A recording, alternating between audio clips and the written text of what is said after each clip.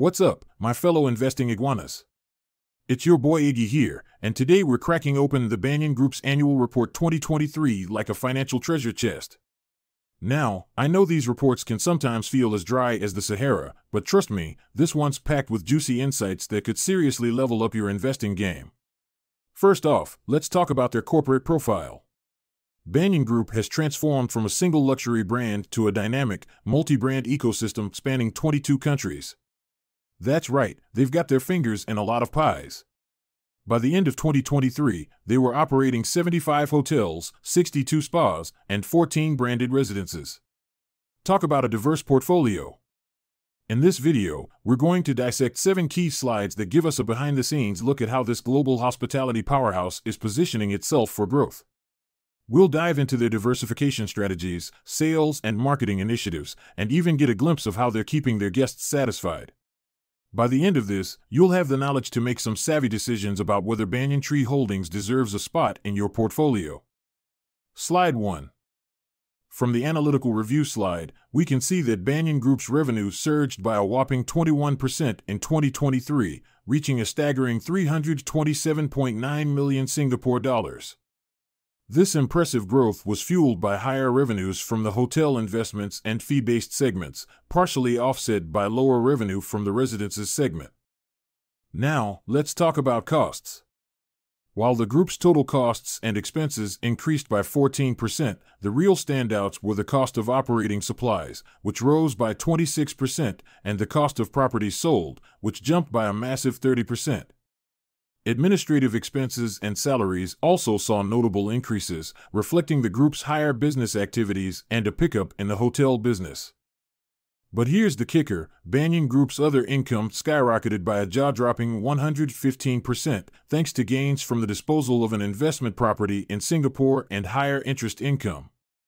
This helped offset the rise in administrative and impairment losses on financial assets.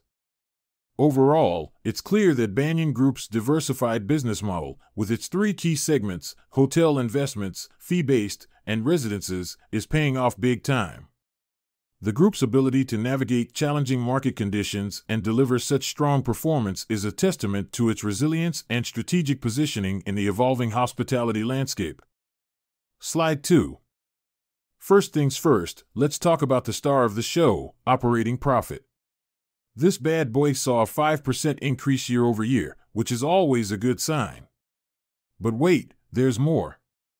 The hotel investment segment, which accounts for a massive chunk of their revenue, saw a whopping 18% jump in operating profit. Talk about a power player. Now, let's address the elephant in the room the 13 Klein and their fee based segment. While that might sound a little concerning, it's important to remember that this includes services like hotel management, spas, and design. It's possible that this dip is just a temporary hiccup, or perhaps they're shifting their focus to other areas. Moving on to depreciation, we see a 23% increase in the cost of property, plant, and equipment. This could mean that the company has been investing heavily in upgrading their facilities or expanding their operations. Smart move, if you ask me, you gotta spend money to make money, right? Finance costs took a slight dip, which is always a welcome sight. Lower interest rates or some savvy debt restructuring could be the reason behind this. Every penny counts when you're trying to maximize those profits. Now, let's talk about the share of results from associates. This one saw a 15 climb, which could be a potential red flag. Associates are often key partners or joint ventures, so we'll need to keep an eye on this to see if it's just a temporary blip or a more significant issue. Overall, this company seems to be firing on all cylinders, with their core hotel investments business leading the charge. Sure, there are a few areas that could use some attention, but that's just part of the game. As investors, it's our job to weigh the pros and cons and make informed decisions. Slide 3. The income statement shows Banyan Group's income tax expense increased by $59 million to $9.7 billion in 2023, indicating higher profitability compared to the prior year. The company's net profit attributable to owners grew by over 10% to $31.7 billion. These figures point to Banyan Group's strong financial performance and ability to generate higher earnings for shareholders. The cash flow statement reveals Banyan Group generated a massive $40.8 billion in operating cash flows, up significantly from 2022. This provides the company with ample liquidity to fund growth initiatives, repay debt, or return cash to shareholders.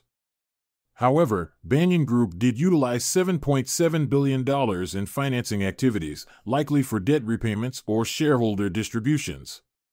While this reduces cash on hand, the strong operating cash flows give Banyan Group flexibility in capital allocation decisions.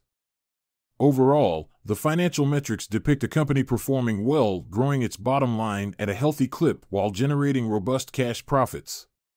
For investors, Banyan Group could represent an attractive opportunity to invest in a high quality business with solid financials and growth prospects. Slide 4 Banyan Group appears to have had a strong year in 2023, exceeding pre pandemic revenue levels and showing signs of a solid recovery. The company's financial health has improved, with better cash flow and a stronger debt to equity ratio. There's also positive news for hotel operations, with a significant increase in RevPAR compared to before the pandemic. The statement highlights Banyan Group's focus on technology to improve productivity, efficiency, and guest satisfaction. This aligns well with our audience's interest in how companies leverage technology for better performance and shareholder value. Banyan Group's expansion plans in key regions like Japan, the Middle East, and Mexico offer potential growth opportunities, but also potential risks associated with international diversification. This could be a good area to explore further for our investor focused audience. Finally, the CEO's emphasis on learning from the pandemic and developing new offerings that cater to evolving travel preferences could be an interesting angle to explore. This could provide valuable insights for our audience on how hospitality companies are adapting to the post pandemic landscape. Slide 5. This slide offers a comprehensive overview of the company's worldwide destinations, showcasing its presence across various regions and the number of resorts, hotels, spas, and galleries it operates. At first glance, it's evident that the company has established a strong global presence, spanning 22 countries and boasting 75 resorts slash hotels across four major regions: America, Europe, the Middle East, and Asia. Interestingly, the Middle East and Asia appear to be the company's primary focus areas, with a significant number of resorts slash hotels in countries like Kuwait, Qatar, Saudi Arabia, China, India, and Indonesia. From an investment perspective, this diversified global footprint could be a positive indicator of the company's stability and growth potential.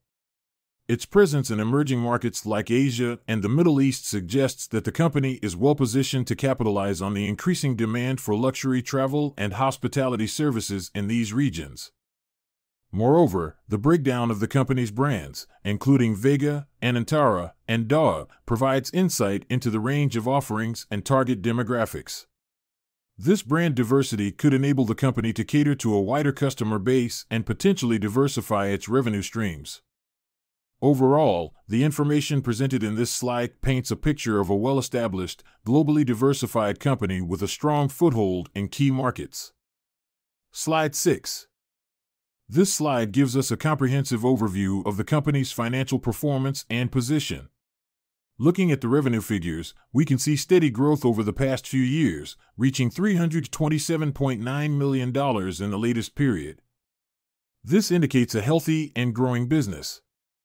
The cash and short term deposits stand at a robust $130.7 million, suggesting the company has strong liquidity to weather any potential storms. The core operating profit of $51.9 million is a positive sign, demonstrating consistent profitability from core operations. Another encouraging metric is the upward trajectory of the net asset value per share, reaching 88 cents recently. This reflects the increasing underlying value of the company over time. The five year highlights provide additional context. We can see the company has maintained consistent profitability and operating margins, suggesting a robust business model and effective cost management. Overall, the financial position appears quite strong, growing revenues, healthy liquidity, consistent profitability, and increasing net asset value. As investors, we would be keen to understand the company's future growth plans and strategies to continue this positive momentum. With solid financials as the foundation, this business seems well positioned for further success. Slide 7. In 2023, Banyan Tree reported a robust group revenue of $371.3 million, up from $327.9 million in 2022. That's a solid jump, showing strong growth despite global economic fluctuations. A big part of this success comes from the diversified portfolio, which isn't just about hotels anymore. They've expanded into residences, wellness, retail, and even membership programs. This strategy isn't just about spreading risk, but also about tapping into new revenue streams that complement their core hotel investments. What's really interesting here is their strategic push into direct sales channels, which boosted their sales contributions by a whopping 27% in 2023 compared to the previous year. This move not only enhances customer relationships, but also sidesteps the hefty fees often associated with third party booking platforms. It's a smart play in today's digital first world where direct engagement with customers can lead to higher loyalty and spending. For those of you eyeing investment opportunities, Banyan Tree's approach to diversifying their service offerings and strengthening direct sales channels might signal a resilient business model geared for sustainable growth. All right, my fellow iguanas, there you have it, the Banyan Group's annual report, dissected and decoded for your investing pleasure. We've uncovered their strategies for diversification, direct sales, and guest satisfaction, all of which could be crucial factors in their future growth and success. Remember, knowledge is power in the world of investing. And the more you understand about the companies you're considering, the better equipped you'll be to make those sweet, sweet gains. So if you found this video insightful and want to continue leveling up your financial wisdom, be sure to smash that like button and subscribe to the Investing Iguana channel. I'll be back soon with more in depth analysis and easy to understand breakdowns of the latest financial reports, market trends, and investing strategies. Together, we'll navigate the complex world of finance and work towards achieving our personal visions of financial freedom. Until next time, stay savvy, my friends.